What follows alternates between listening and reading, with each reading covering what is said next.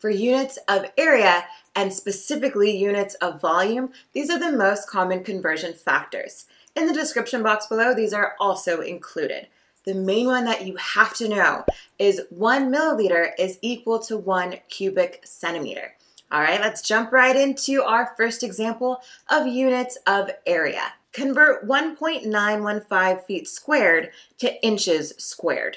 Always start with finding your given conversion factor and what you're finding. Your given is 1.915 feet squared. The conversion factor is 1 foot is equal to 12 inches, and you're finding inches squared. The proper setup is with putting your given first. We'll have that 1.915 feet squared, aligning the feet across from each other so they can cancel, and on top we'll place the 12 inches since inches is what you're solving for.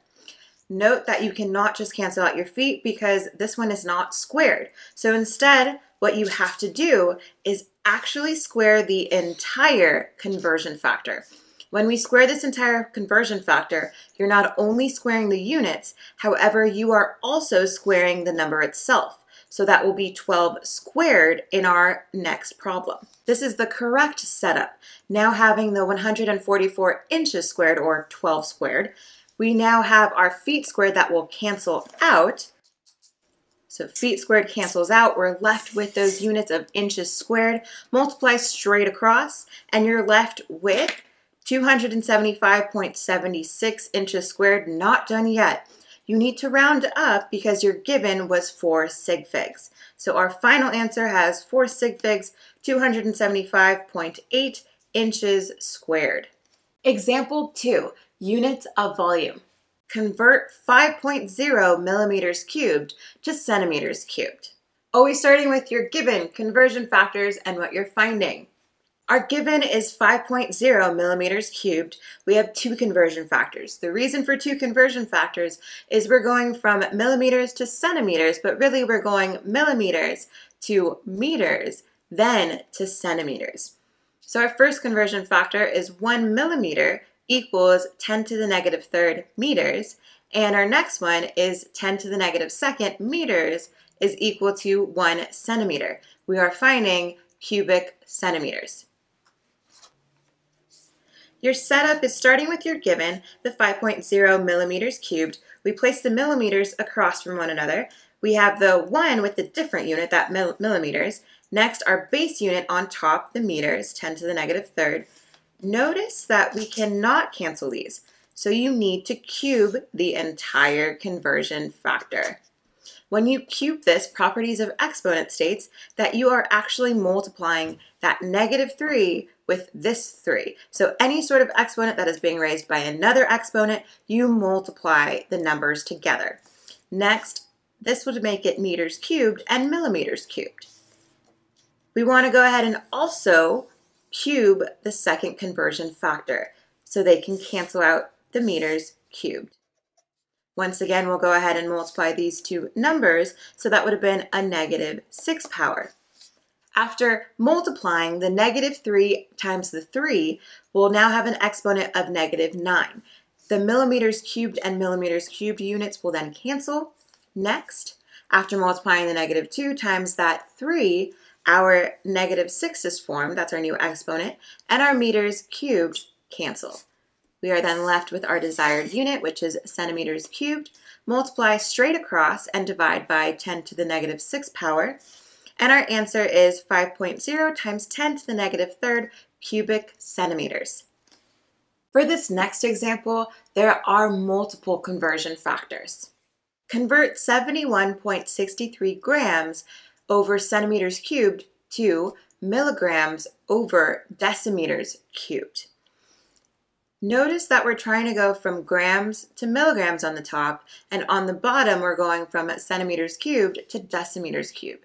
Instead of putting one long conversion, what we're going to go ahead and do is split it into two. Starting with the first part, just focusing on converting our grams to milligrams. Starting with your given of 71.63 grams over centimeters cubed, placing the grams across from each other so they can cancel, our grams as our base unit will have that 10 to the third power and one milligram. Your units would then be milligrams over centimeters cubed. That's okay for now. We at least got the milligrams. Next step is going from centimeters cubed to decimeters cubed. For the second part, there are multiple conversion factors. We'll start with the centimeters cubed and make our way to milliliters, using our first conversion factor that one cubic centimeter is equal to one milliliter. Next, we'll go to milliliters, then to liters using the metric system, where our 10 to the negative third goes with our base unit of liters is equal to one milliliter. And lastly, our next conversion factor is going from one liter to one decimeter cubed. Continuing on with what we just found in our first step, we'll place that here. Next, we want to go ahead and cancel out the centimeters cubed. I know that it, you're used to it typically being across this way. However, as long as they're across from each other, they're still going to cancel out. So our centimeters cubed would then cancel each other out. We now have milliliters on the bottom. We want to cancel those out, so we'll place our second conversion factor there. Milliliters cancel. We now have liters on the bottom, but we want decimeters cubed on the bottom, so we'll continue to cancel out liters, and we're left with milligrams over decimeters cubed. Multiply straight across and divide by that 10 to the negative third, and you get your final answer. Practice, practice, practice. Try these out.